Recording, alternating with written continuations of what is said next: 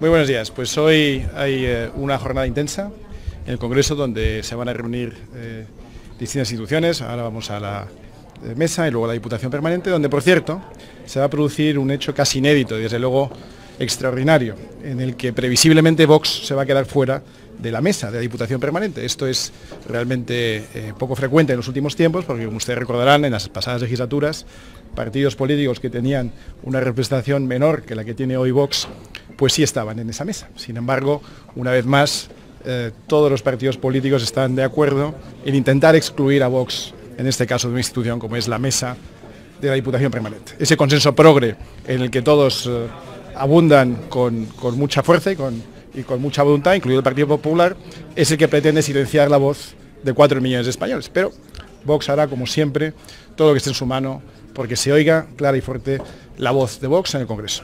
Hoy en la sesión que vamos a tener a continuación de la, eh, eh, Junta de Portavoces, se empieza a ver ya algunos de los efectos de la presencia de Vox en esta Cámara.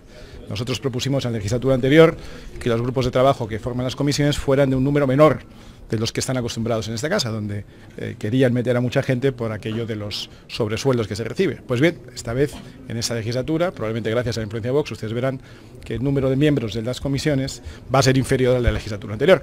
A nosotros nos hubiera gustado que fuera incluso más pequeño, pero como no quieren ni siquiera consultar con nosotros ese tipo de cosas, de nuevo el Consejo Progre pues ha establecido un número sin consultar. Dicho eso, Vox seguirá dando voz a los cuatro millones de españoles en todos los ámbitos en los que nos han eh, enviado, en este caso en el Congreso y en todas sus instituciones.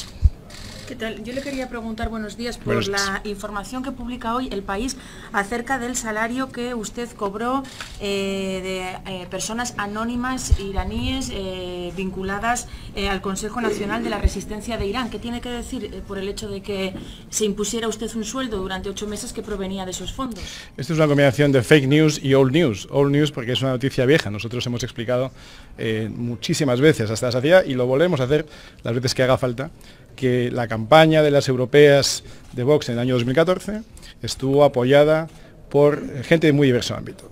Hubo un 20% de la campaña que se financió a base de nuestros afiliados y pequeños donantes y un 80% de la campaña que se financió a través de eh, miembros del exilio persa que de una manera absolutamente legal, conforme a la normativa, cumpliendo los plazos, cumpliendo las cantidades, y de una manera muy transparente, porque en ningún caso son personas anónimas, sino personas perfectamente identificadas, típicamente profesionales liberales, abogados, médicos, eh, consultores que viven en Occidente y que se oponen, como nos oponemos nosotros, al régimen totalitario, terrorista de los ayatolás en Irán.